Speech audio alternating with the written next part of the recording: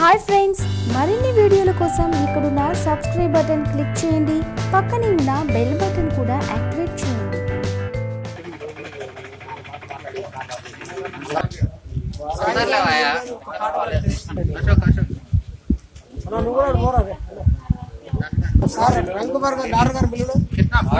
సాయంతో ఈ చిన్నపాటి కార్యక్రమాన్ని నేను నిర్వహించడం జరుగుతుంది.